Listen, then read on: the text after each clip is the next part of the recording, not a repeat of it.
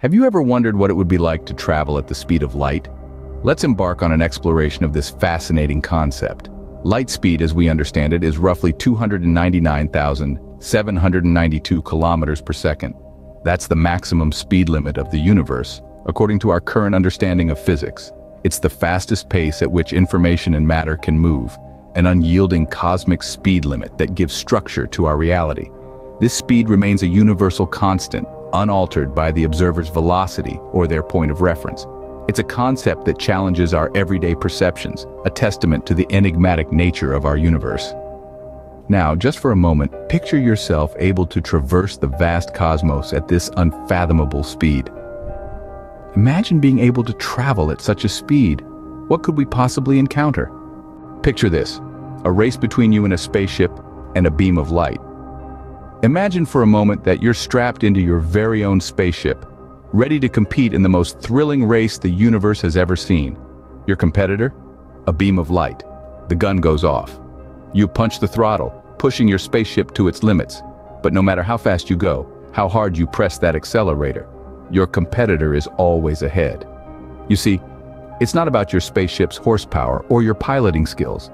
It's about the fundamental laws that govern our universe.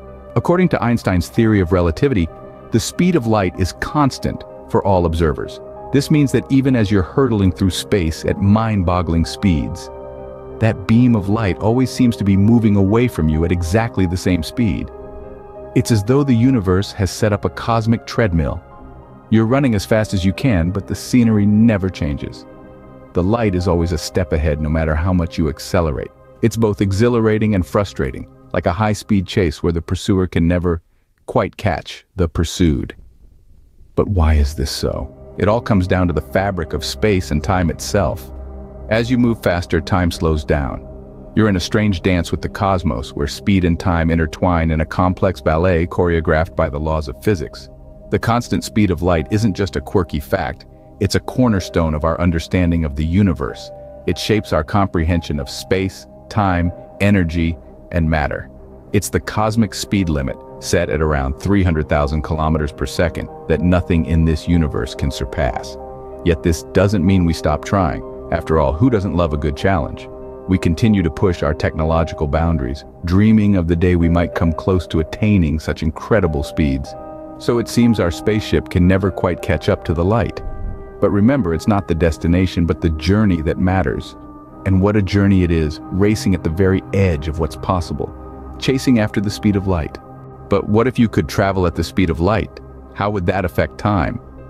This intriguing question opens up a world of mind-bending physics, a realm where time itself can stretch and shrink.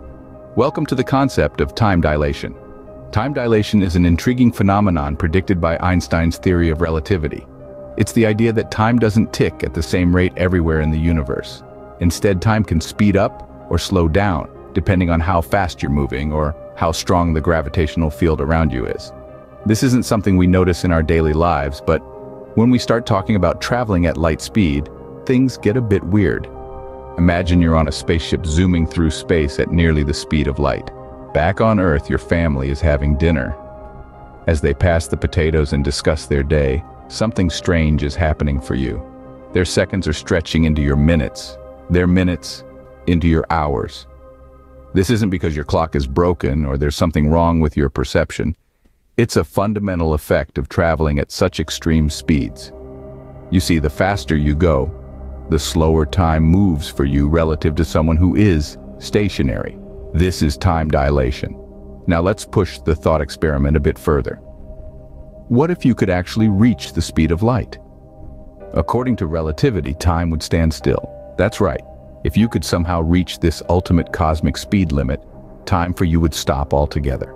From your perspective, you'd be frozen in time, a snapshot in a universe still bustling with activity. But remember, this is all theoretical. We can't actually reach the speed of light.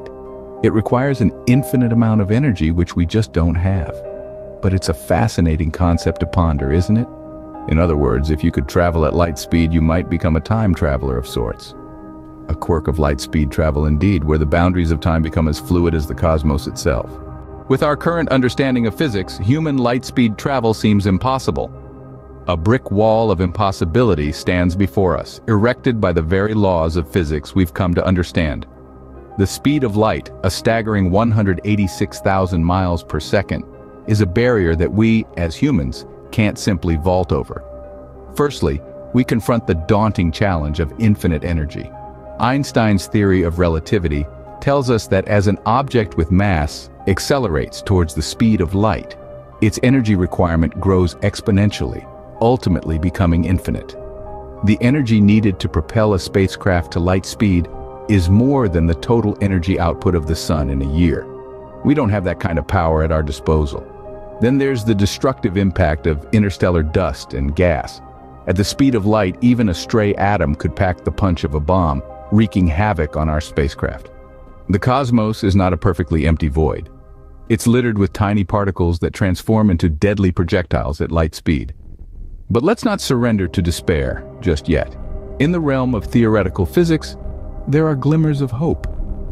The concept of a warp drive, for instance, proposes a workaround. Instead of accelerating a spaceship to light speed, we could theoretically warp the fabric of spacetime around the ship, creating a bubble that allows the ship to ride a wave of spacetime, effectively moving faster than light. This wouldn't violate any laws of physics, as the ship itself wouldn't be moving at light speed, it's spacetime that's doing the heavy lifting. However, the warp drive remains a theory, a fascinating concept yet to be proven. It requires a form of energy or matter with negative density, something we've never observed, so while it's an intriguing idea, it's not a solution we can apply right now. While light-speed travel remains a fascinating concept, it's a destination we've yet to reach. So, to sum up our light-speed journey, we've traversed through the constant speed of light, a speed that no matter how fast we go, we can't quite catch up to. We've explored the mind-bending concept of time dilation, where time itself stretches and contracts as we approach light speed. And we've grappled with the seemingly insurmountable challenges of light speed travel, while also glimpsing at the tantalizing potential solutions. Traveling at the speed of light remains a dream for now, but who knows what the future holds.